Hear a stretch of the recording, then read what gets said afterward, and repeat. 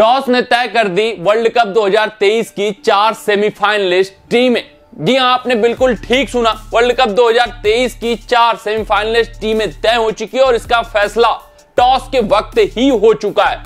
अगर आपको पता हो तो इंग्लैंड वर्सेस पाकिस्तान का जो मुकाबला था, ये आखिरी कह सकते थे उम्मीद थी पाकिस्तान टीम के लिए इस वर्ल्ड कप के सेमीफाइनल में जगह बनाने के लिए।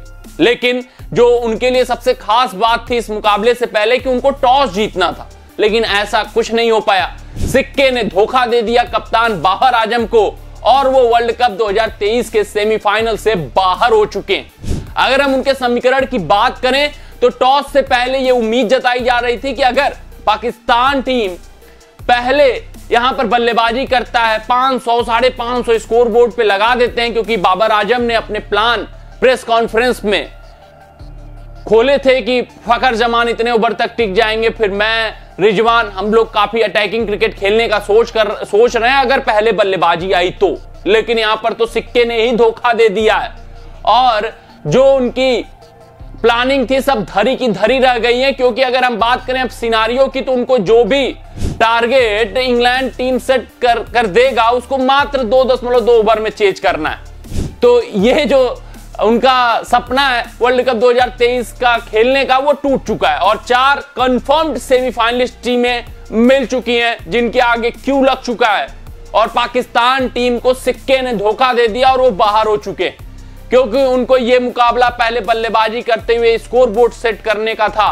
और दो सौ सत्तासी रनों के विशाल का अंतर से इंग्लैंड को मात देने का था, लेकिन ऐसा कुछ नहीं हो पाया, क्योंकि वो टॉस ही हार गया और इंग्लैंड यहाँ पर इस मुकाबले में पहले बल्लेबाजी करता हुआ दिख रहा है। अब जो भी टारगेट अगर इंग्लैंड देगा, उसको, इनको कितने ओवर में चेंज करना है मात्र दो दशमलव दो ओवरों में।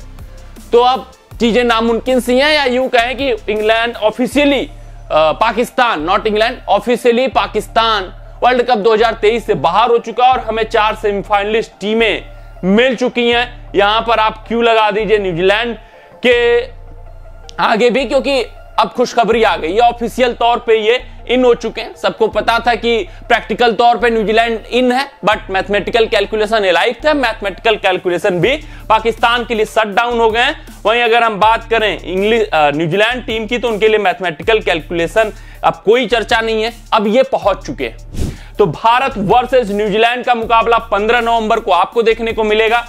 16 नवंबर को आपको south south sorry south Africa versus Australia का मुकाबला देखने को मिलेगा।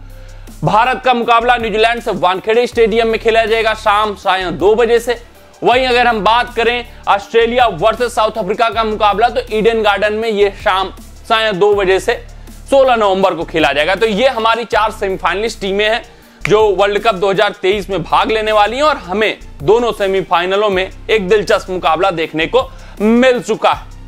तो करोड़ों पाकिस्तानियों को झटका लग गया है टॉस के वक्त ही, क्योंकि सिक्के ने ही उनकी किस्मत का फैसला मैच शुरू होने से पहले ही कर दिया है। तो आज की अपने इस रिपोर्ट में बस इतना ही। आप सभी अपना ध्यान दें, सुरक्षित रहें, स्वस्थ रहें, मस्त रहें। जय हिंद, जय भारत। अगर ये वीडियो आपको पसंद आया हो तो इसे लाइक और शेयर करें और क्रिकेट से जुड़ी अन्य जानकारियों के लिए हमारे चैनल को सब्सक्राइब करना ना भूलें।